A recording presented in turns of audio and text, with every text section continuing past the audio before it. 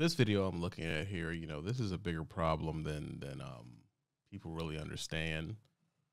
Um, like I say, when they always go on this whole hiring crisis, you know, the, the, the, the truth is the people who made a living off of this are not really interested in any of their family members getting into it because of the, the raw treatment that we've gotten. So um, it doesn't make sense when I say it. So I'm making these videos for y'all to see um, that I'm not making that up. That's an that's an observation. of them are here living in their truck. There's really nowhere for them to go. I can't pay their bills for them, but I can, you know, I can be a listening ear, I can be a friend, and I can make them feel important while they're here. God bless that dude, man. How long you been driving? 41 years. 41 years. Always, always coast to coast. Always, yes. You would say that trucking life has been good for you. If I had it to do over again, no, I wouldn't be a trucker. And there's the thing. You know, that that's a all that dude's all in. You know, not really big on learn. That's why I always tell y'all, I don't want this to be doom and gloom. I tell you to learn something else. Learn something else. Let this take you out of poverty, but learn something else. The middle the, the, the blue collar guy is the guy that I'm gonna get this job and I'm gonna keep it forever. That is not the plan these days, bro. I mean, look at what tech does, look at what corporate does. I mean, I was watching this one thing where it was saying if you're getting into a tech job, what is the first thing you're supposed to do when you get that job? What? Plan your escape. You need to be looking for something. You need to be, the sitting in one job for 30, 40 years, that that's just it's it's outdated, bro. It's outdated for many reasons. But let, let, let's hear what else um he has to say. If you had to do it over again, you wouldn't be a truck driver. No way. The middle class man just struggles more and more every day. Got two sons, and I told him don't don't think about no truck. And see that? Don't think about no truck. That's that to me. That's that's so messed up, bro. It, it, not him. I'm just saying to beat that predicament is so sad, bro. You know, you supported him and raised him on it, like not raised them to be it, but you know that money supported and raised them, and he's telling them don't get into it. You know, comment at the bottom. Why? Why do y'all think he's saying don't get into it? Why do you think he's saying that? I'm not gonna say it. Y'all comment at the bottom and tell me why he's saying that.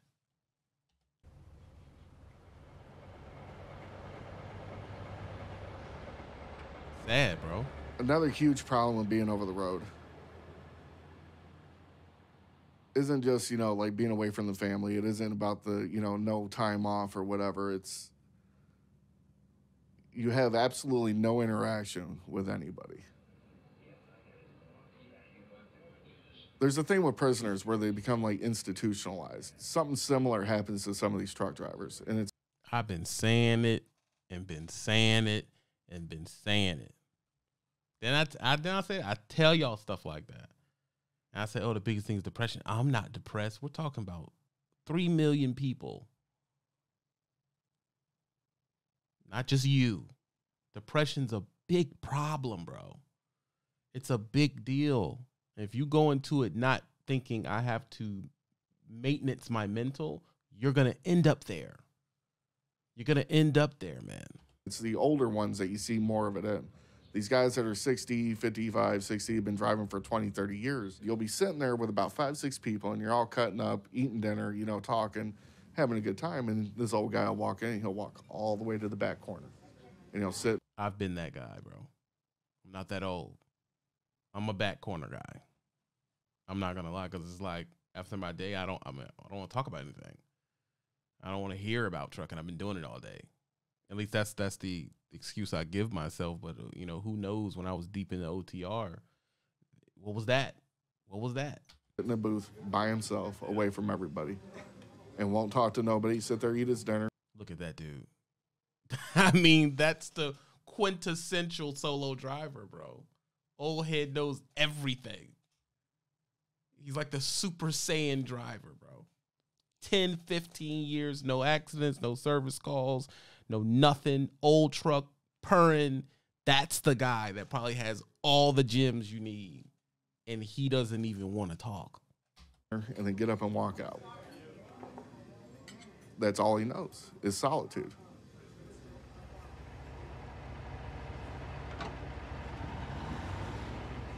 We go out to supply the America everything. You know, that's what my gratitude is, what I get out of it.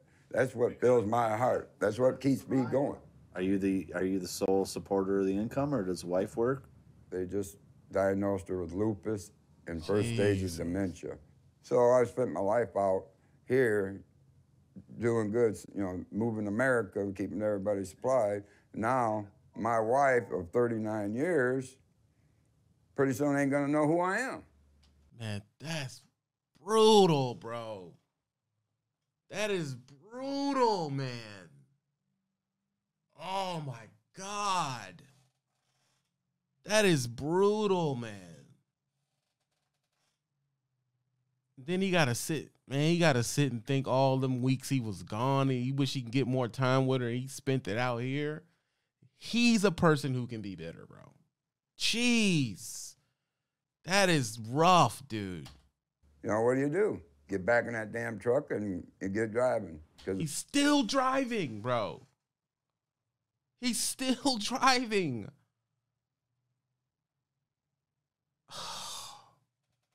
bills has got to be paid. And he did those 30 those 30 years and he doesn't have enough to stop with her at least until she doesn't know who he is no more. That is oh my god, bro. Y'all is this joint get me going, bro.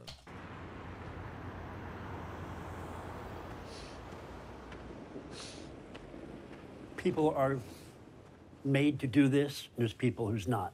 In a way, you have to lead a double life. You have a life when you're at home, but then it's like a separate life out here. Great, agree. And the bad part is when something bad goes home, you have to live that life in that turmoil and then live it again out here until things stabilize. I think I'm going to run for a little bit this winter for Glenn. He said he had some pretty decent stuff coming up. Yeah. You know, he's got work anyway, so. Well, I guess that puts an answer to the rumor about 20 people getting laid off. Yeah. That's Mine one of the too. I had bad 'em- things. Sugar. Sugar. Pay attention. If you that. would, uh, with diabetes, Mm-hmm.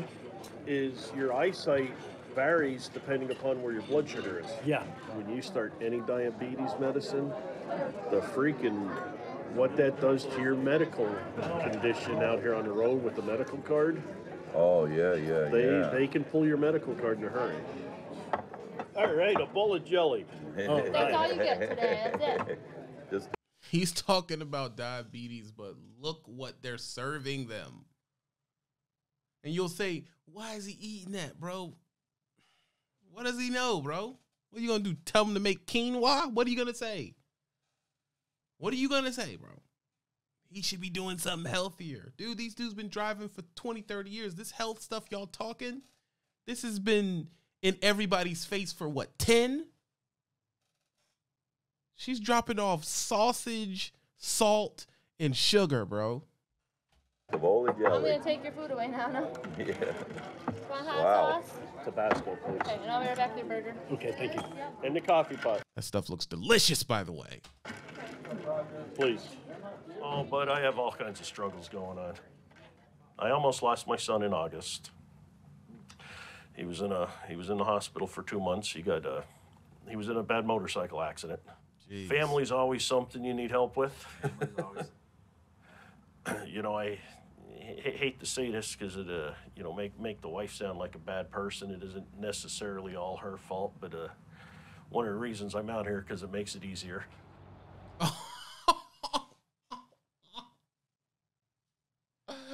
he's, he's out here to get away from his old lady. That's insanity. I've said that before too, but I digress. She used to drive. and she got sick, and things got pretty tough there for a while. It started in her tonsils and then went to, it moved to the lymph nodes in her neck, and they had to do a full neck dissection on her. Jesus, man. So she went through the about the worst radiation and chemo you could do. Seven weeks of it. And yeah. Jeez. That was one of them. Well, I got things. I tell you, I promise you. And it's, I mean, it still is. Jesus.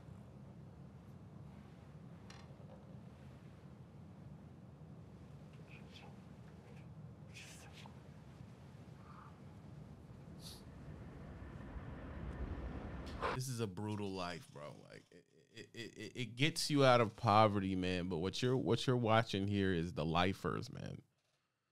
You know that eats me up, bro. It does, man. It eats me up, dog. Because it's like these people. Not only have they done thirty years plus in in the truck, they've been thirty years monogamous, bro.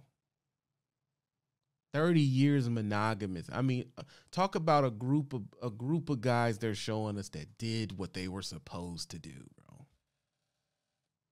Did what they were supposed to do. Kept their old lady, kept their job or kept their career, paid their taxes, no criminal records probably. They're God-fearing guys. They're in a chapel. So they're they're obviously uh, higher power believing guys and the country freaking hates them, dude. That's what that's what's weird about it. It's like they're an annoyance on the road. You don't want them to park nowhere. You know, you don't have bathrooms for them when they pull up. That's the stuff that pisses me off, bro.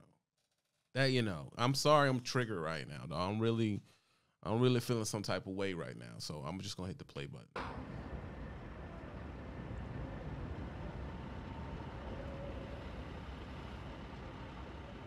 You came to the Lord when? I've probably attempted suicide. Jeez. Half a dozen times. I tried to hang myself, and they found me hanging from from the door with a a sheet, you know, wrapped around my neck.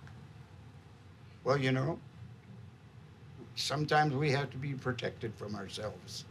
What scares me is not having the the financial, you know, security, uselessness, worthlessness. Oh my God, this dude's hitting all the markers, bro. You know, we make decent money, but we're not secure. That's a thing, bro. That's a thing. It's like you make good money if the market's going good. You make good money if the truck works. You make good money if your DM likes you. It's like there's no security, bro. Um, not knowing what you're gonna do next. And I know people are gonna look at this and be like, "Oh man, yeah, everything's just depressing, dude." If you're one of those people that say, "Oh man, this is depressing," I, I don't like looking at depressing stuff, then you're an idiot, bro. What you're seeing is you started a path, and this is what people look like 20, 30 years after the path. If at a bare minimum, this should be studied. You should be studying this as a person. You should be studying this. You understand?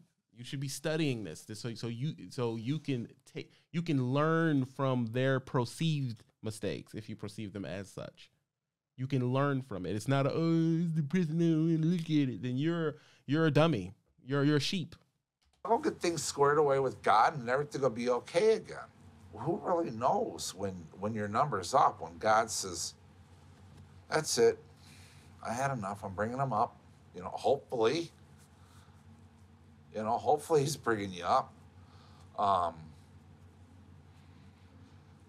who knows what you know when you when your luck's gonna run out. That's, but man, I'm still willing to do it.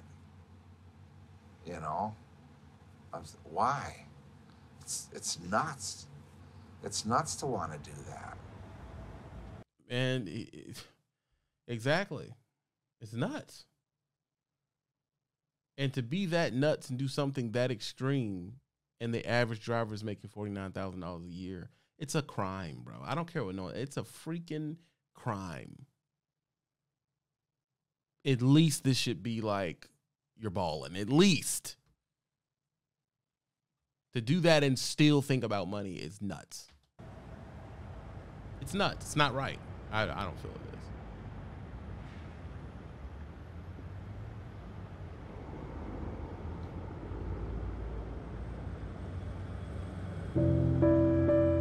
is. It's nuts, bro. I mean, that was a, that was an awesome video, man. Um, it's it, it comes from a documentary. Uh, uh, the Beloved Trucker, uh, the Atlantic. Uh, the, you can check this video out on the Atlantic. That's the uh, the the name right there. Uh, the the YouTube channel. Um, it's called the Double Life of a Trucker, and it's it's just it's. You know, I I, I wish, you know, I, I wish wrong button, wrong button. I wish, you know, this wasn't the reality or this wasn't what was going on, but the truth is it is. And I don't know how many times I've told y'all, you know, there's no rainbows at the end of this career. Use this career for what you need it for. Can it get you out of poverty? That's exactly what it's gonna do. So don't think, oh, I don't want to do it now, dude. There is risk in everything you do. There's risk in everything you do. It can get you out of poverty. It can get your credit back put together. It could get you in a position to pay for the next thing you want to do. It could help you buy real estate, as they say. You it could do all of those things. But what I what I look at this, I think these are the people who just did it. And this is what I'm gonna do.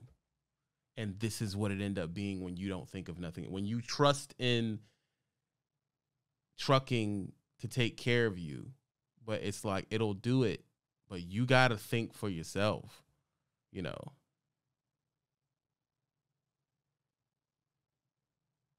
You know, you gotta do it for yourself, and you also gotta think of the decisions as well, because yeah, there's some decisions, bad decisions that obviously been made, choices of food, choices of health, exercise, you know, things like that. But you gotta know that if you just try to do this on autopilot, that is that is some things that can happen to you. At least has to be presented to you. Not just, oh, you're gonna be a baller and you're a boss. That is not the reality, dog. And when I said when you get to the end of it, you don't have a bunch of money, you don't have a bunch of health, y'all didn't y'all cussed me out for that. You cussed me out. But that's the truth. These dudes are some of them were retirement age and they were still driving. It's like it's brutal, man. It's brutal. I just wanted to bring that to y'all and you know, uh hopefully it, somebody needed to see that. Hopefully somebody's to take that and say, you know, I'm to work a little bit on my health or I'm to I'm to take some online classes in the back of the truck on my laptop. Or I'm to um, you know, I'm to look at getting a position that gives me more time to work on my health or more time with my family. Maybe it said something like that to you. You know, maybe it said something like that to you. But understand, man, it's it's it's you have to think more. It's not just the next load, bro. It's not just the next. I think that's the best way to put it. Trucking is not just the next load. It really isn't. I hope this touched somebody. I hope this helped somebody get some things thought through. I hope you subscribe to the channel. I hope you hit the like button. Show love for the content. Don't do drugs. Be happy. And let's try to be as healthy as we possibly can, man.